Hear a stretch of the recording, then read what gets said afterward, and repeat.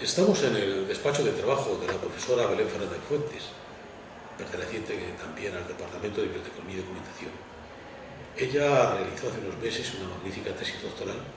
y por eso nos parece muy oportuno pues, que nos cuente también, como hemos hecho con otros compañeros, que nos cuente también su experiencia de cómo llegó a elegir el tema, el tema de su tesis doctoral. ¿Qué proceso siguió? De modo, como siempre, pues resumido y breve. Muchas gracias. Bueno, en principio yo me planteé eh, la tesis em, sobre... Quería hacer una tesis sobre algún tema de documentación que a mí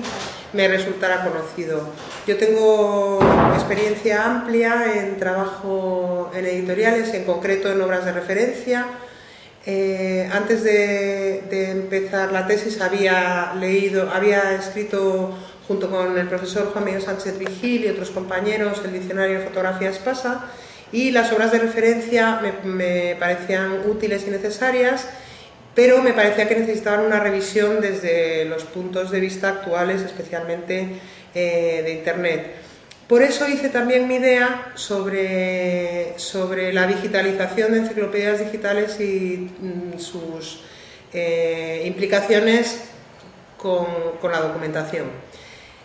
Eh, tuve que, delimitar para la tesis eh, la información o las ideas que yo tenía y, mm, eh, tuve distintas entrevistas con personas que habían trabajado en cuestiones de documentación y obras de referencia y enciclopedias en concreto. Concretamente hablé con el profesor Juan Miguel Sánchez Vigil, con el que, como ya he dicho, había trabajado antes, y me dio la idea de trabajar sobre la enciclopedia Espasa, que coincidía eh, en cumplir su aniversario en las épocas en las que yo me estaba planteando mi tesis. Em, para, delimitar más el tema, hablé con eh, el profesor López Yepes,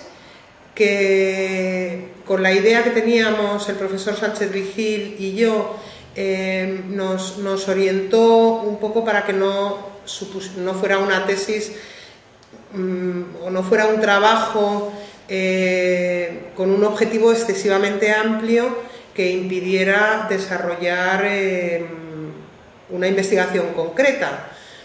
Y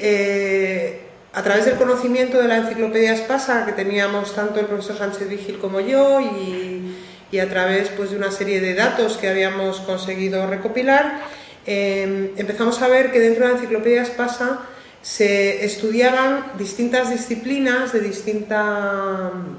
de distinta manera y por distintos estudiosos, valga la redundancia,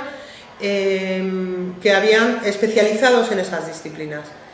Teníamos la idea de que la documentación en España nace a partir de los años 70 o se empieza a considerar a partir de los años 70 con la obra del profesor López Yepes y, la enciclopedia Espasa eh, empieza en 1905, año que además es muy cercano a los trabajos de Odlet y Lafontaine eh, en Bruselas y concretamente a, pues a, la creación del repertorio bibliográfico internacional, del Instituto Internacional de Bibliografía, etcétera, etcétera. La enciclopedia Espasa se acababa en 2005 y, y, decidimos entonces hacer una visión de la documentación desde esos orígenes odletianos hasta la actualidad a través de las páginas de la enciclopedia Espasa. Em,